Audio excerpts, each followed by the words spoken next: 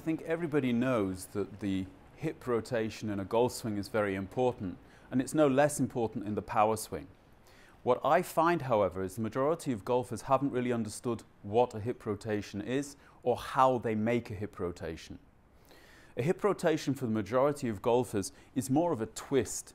They're trying to move around a central axis. That means that the left hip moves in one direction where the right hip moves in the other direction, and this is wrong when you're moving your hips, you can only really move them around one foot or the other without losing contact to the ground. That means that in the backswing, I'm leaving my right hip where it is and rotating my left hip outwards. I then push this hip back before the right hip comes forward. So it's a little bit similar to a door. The door has one axis. You open the door to the left close the door. And first, when the door has actually gone past its starting position, should the right side of the door change and come forward. Open, close, open from the other side.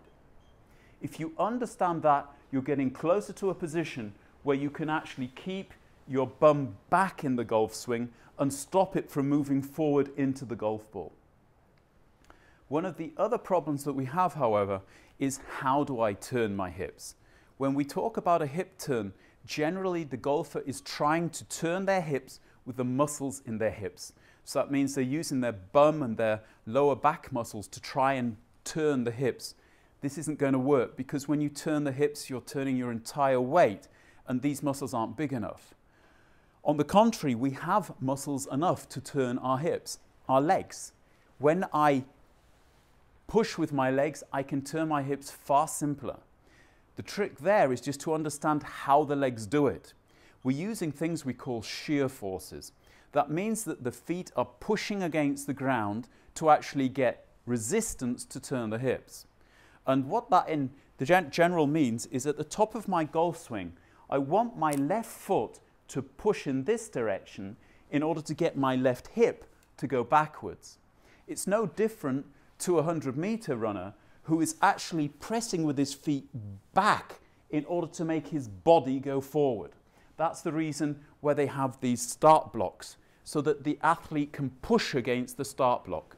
So what we're trying to do at the top of the golf swing is to stop the right foot pushing us over and start with the left foot. So I'm pressing with the left foot in this direction around about 45 degrees to the target and that is pushing my left hip back out of the way.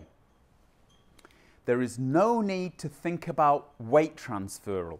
When you take a backswing, you create pressure under the right foot because the right foot resists you wandering off the ball. You should have around about 70% more pressure right than left at the top of the backswing. So if you do nothing, then your right foot will push you laterally into the ball. That will not help. You've got to get these pressures even by pressing back with the left foot. Once the left foot actually pushes the hip past its starting position, the pressure from the right foot will move the right hip forward almost all by itself. If you can get this feeling for these shear forces that your feet are using on the ground, then you'll find that your hips suddenly start to turn.